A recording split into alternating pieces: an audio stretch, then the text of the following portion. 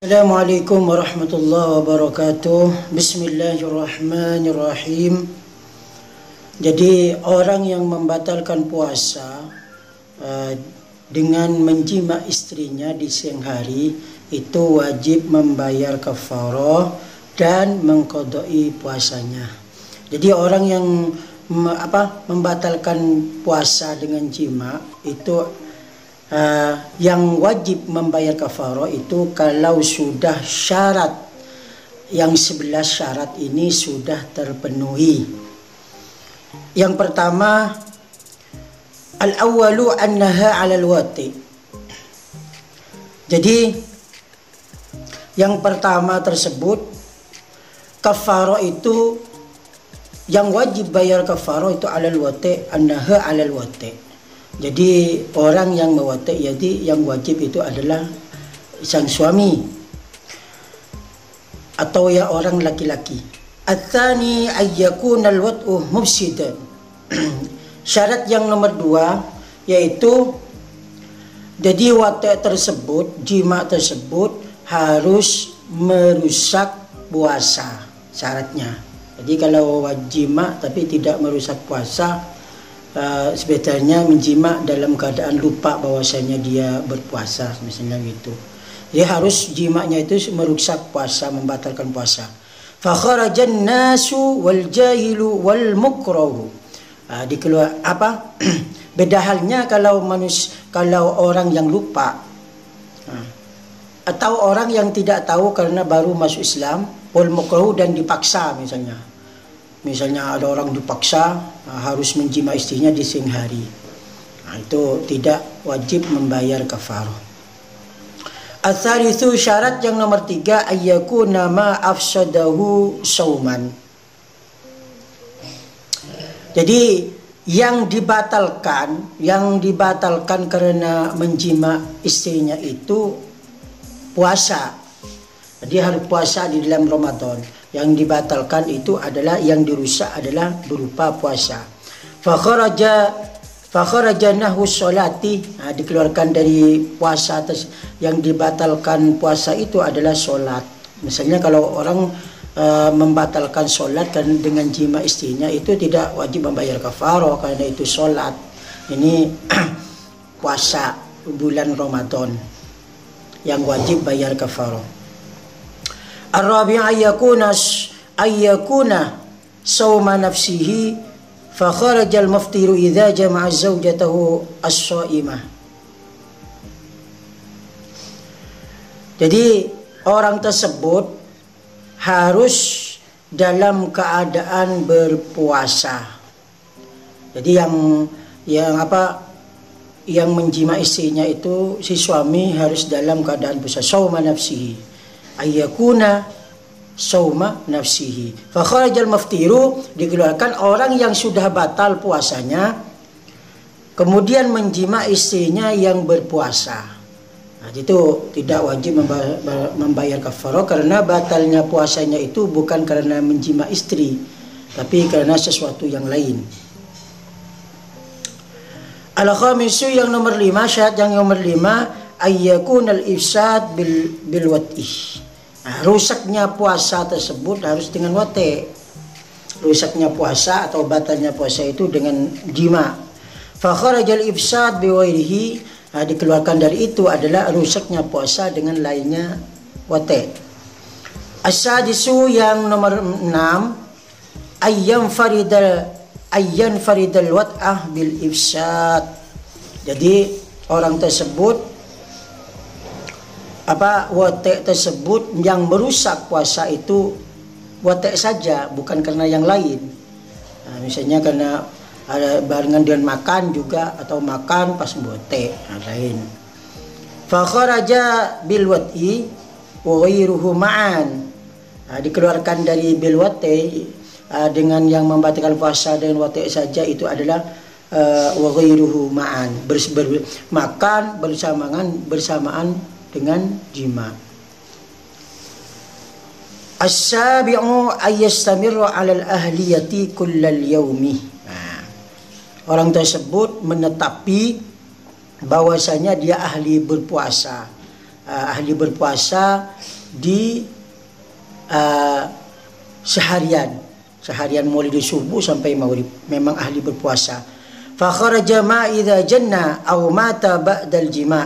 Di uh, pengecualian dari itu dikeluarkan dari um, ayat samiru alal ahliyati kullal yaumi yaitu orang ketika berpuasa pas gila. Gila. Atau mata ba'dal jima atau mati setelah jima. Wa qabla fi, fi wa qabla firaghil yaumi fala kafarata. Sebelum selesainya hari itu fala kafarata sebelum selesainya hari itu hari waktu berjima itu mafala kafarata kalau mati uh, sebelum selesainya hari itu maka tidak wajib mengafarah Athaminu yang syarat yang nomor delapan yaitu ayyakuna saumu min ada'i Ramadan yakinan. Uh, puasanya tersebut harus ada ada Ramadan yakinan dengan yakin. Fa kharajal qada wan nadharu dikeluarkan dari itu adalah puasa qada dan puasa nadar. Kalau puasa qada qada Ramadan misalnya atau nadar membatalkan puasa kodok atau nazar dengan jima ya tidak wajib bayar kafarah. Wa man wati'a fi Ramadana dan barang siapa mewati atau menjima istrinya di bulan Ramadan wa kana soma bil ijtihad dan orang tersebut berpuasa bil ijtihad dengan ijtihad walam yatayakkon dan orang tersebut tidak yakin annahu sesungguhnya berpuasanya tersebut yang tidak yang tadi itihad itu bahwasanya dia itihad bahwasanya ber, terus berpuasa dan dia tidak yakin bahwasanya itu masuk bulan Ramadan. Atau orang tersebut berpuasa di hari syak yaum syaki. Haitsu jaza fabana annahu min Ramadan. Sekiranya diperbolehkan uh, fabana annahu misalnya uh, yaum syaki karena dia apa sudah terbiasa apa puasa sunat hari Senin Kamis ketepaan di yaum syaki tersebut hari Kamis uh, maka boleh berpuasa di yaum syaki atau berpuasa yaum syaki dia yakin bahwasanya istihad uh, itihad bahwa itu adalah bulan Ramadan. Dan tidak yakin orang itu pun tidak yakin bahwasanya itu bulan Ramadan atau uh, berpuasa yang musyaki karena bertepatan dengan hari Kamis dan uh, Senin karena kebiasaan puasa sunnah hari Kamis biasanya dia berpuasa Senin Kamis fabana annahu Ramadan. Ternyata itu masuk bulan Ramadan. Maka itu tidak wajib bayar kafarah juga. Wa yahillu wa yasulul yakin bir ru'yati dan yakin itu dihasilkan dengan ru'ya melihat bulan. Bulan-bulan tanggal 1 di bulan Ramadan. Awal hisab atau hisab atau khabarin mawthukin bihi atau khabarnya orang yang dipercaya. Au ghairil mawthuq bihi atau orang yang tidak bisa dipercaya. Idza tamada sidqahu apabila orang yakin bahwasanya orang tersebut jujur. Atas yang yang nomor syarat yang nomor sembilan adalah ayat thima bil wati orang tersebut berdosa sebab menjima istrinya. Fa kharaja sabiyyu min fasiru dikeluarkan dari itu adalah seorang anak kecil wal musafiru dan orang musafir. Fakharaja al fakharaja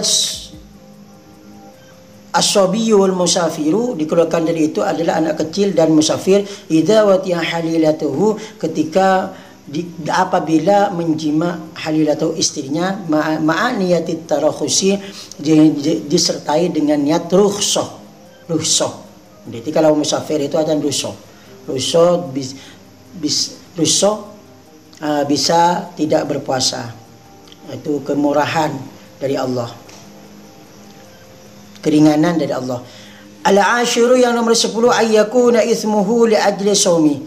Dosanya orang yang menjima istrinya disebut li ajli sawmi karena berpuasa. Karena disebabkan berpuasa. Puasa Ramadan. Fa kharaja shaimul musafiru dikeluarkan dari itu adalah orang yang berpuasa yang musafir, al-watu yang mewate zina. Al-wati zina yang orang tersebut mewate perempuan yang bukan istrinya yang berzina. Walam yanwi tarakhusun dan orang tersebut tidak niat tarakhus rusak bil iftar dengan membatalkan puasanya itu. Li'annahu lam ya'thim bil bati lisawmi orang tersebut tidak dosa tidak dosa karena menjima menjima lisawmi karena berpuasa dengan jima orang tersebut dosanya bukan karena puasa menjima karena bulan puasa bal zina karena orang tersebut dosanya karena berzina. Atau li'adami niyati takhusyu atau karena tidak niat tarakhus rukhsah. Al-hadi asyara yang nomor 11 syaratnya ada mush adamu ada musyubati tidak adanya syubhat. Fa kharaja man dhanna baqa al-lail dikeluarkan dari itu adalah orang yang menyangka atau berkeyakinan bahwasanya uh, belum masuk waktu subuh, masih malam. Berarti baqaul laili belum masuk waktu subuh.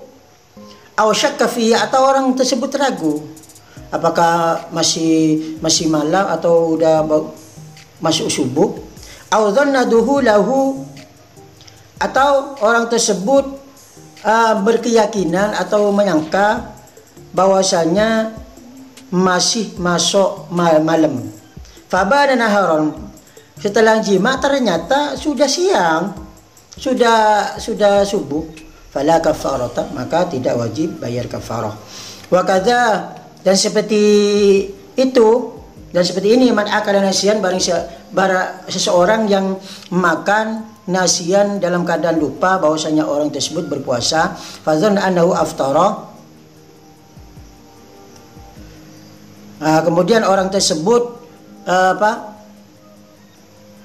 menyangka bahwasanya dia tidak berpuasa, berkeyakinan bahwasanya tidak berpuasa. Bahwa amidan kemudian orang tersebut mewata isinya, menjima isinya disengaja fayaftiru kemudian membatalkan batal puasanya fayaftiru fayaftiru maka batal puasanya wala kafarata alaihi dan tidak wajib membayar kafarah di andal kafarata karena sesungguhnya uh, membayar kafaro kal hududi itu seperti yang had tadra'u. Yang ditolak had tersebut bayar had alaihi li syubhatil ikrahi karena syubhanya ikrah Walau tola al fajru apabila fajar sodik sudah keluar intinya sudah subuh bahwa mujami'un orang tersebut masih menjima istrinya fastada ma'aliman bituluhi kemudian orang tersebut masih menjinya tidak langsung dicopot. Uh, aliman bituluhi dan orang tersebut tahu bahwasanya sudah subuh atau fajar sodik sudah keluar. Wajibat alaihi kafaratu maka wajib membayar kafarah li'annahu la yuqaddiru ayyash anna saumahu in aqada thumma afsada. Tak bahwasanya orang tersebut tidak menentukan atau memastikan bahwanya puasanya itu sah. Kemudian uh, apa? Puasanya sebut rusak.